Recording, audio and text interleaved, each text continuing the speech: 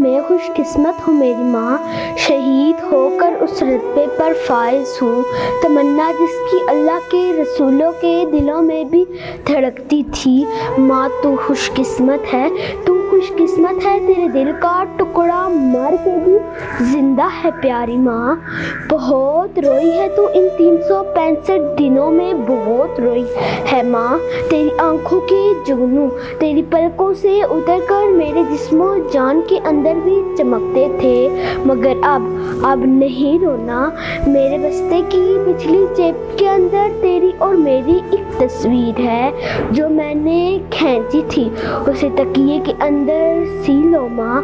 اب میں ہر روز تجھ کو تیری گائی ہوئی لوری سناؤں گا۔ اپنے بچپنے کی نیند کے آغوش میں تجھ کو سلاؤں گا۔ میں خوش قسمت ہوں میری ماں۔ میں خوش قسمت ہوں میری ماں۔ شکریہ۔